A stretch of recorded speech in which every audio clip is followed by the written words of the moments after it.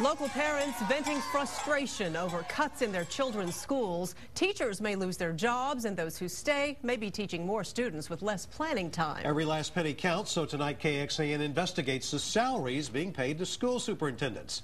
Our Nancy Wilson examined the contracts for every superintendent in our viewing area and Nancy, what did you find out?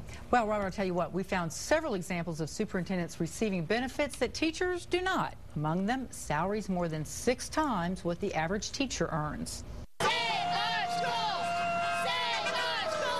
While Martin Benavides and Mark Holscher were fighting to keep their kids' school open, they were shocked to learn what local superintendents earn.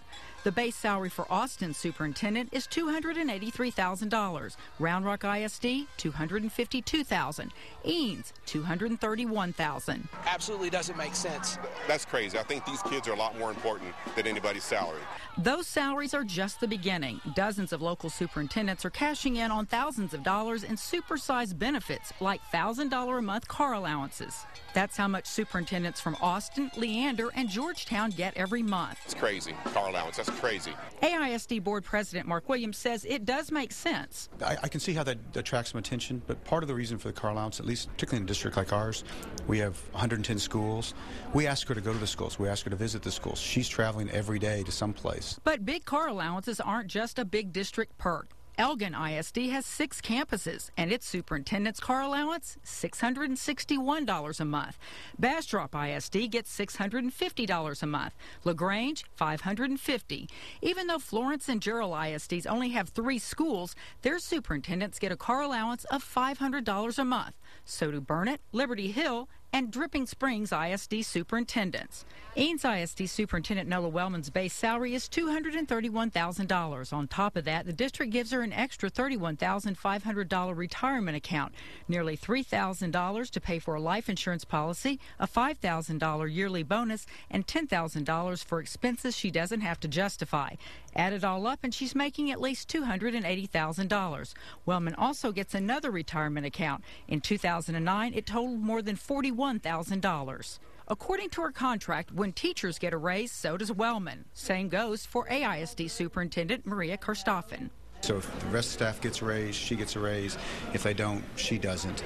And I think that seems like it makes it fair because she's in there with everybody else. Some superintendents have guaranteed raises built into their contract. Thrall's superintendent got a 6% raise this year, and in Marble Falls, the interim superintendent's daily pay jumped by a third. In January, the Bastrop ISD board learned of a potential multi-million dollar budget shortfall, yet it gave Superintendent Steve Murray a $20,000 raise and approved another $10,000 to be paid March 1st. The very next week, Murray issued this memo warning of deep cuts, including possible furloughs and layoffs. While other employees' pay is frozen, Murray's salary jumped to 200 $108,000.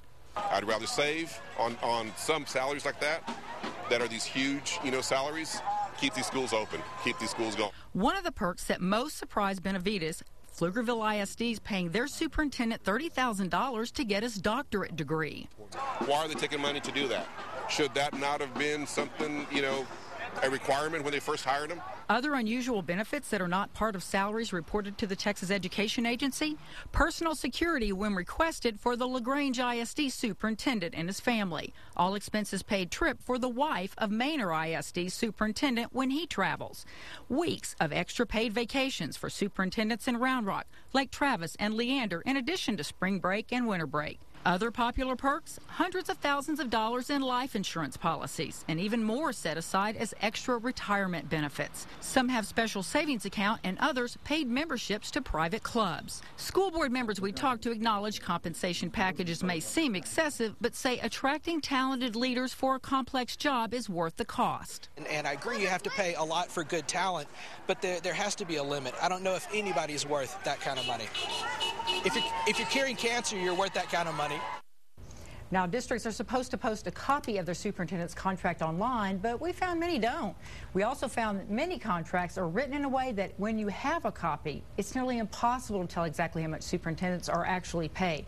Now, we've made it easier for you by asking the questions and putting it all together in one place. If you want to see what your superintendent really makes, Look for this report under Investigations section of KXAN.com. Live in the studio, Nancy Wilson, KXAN Austin News.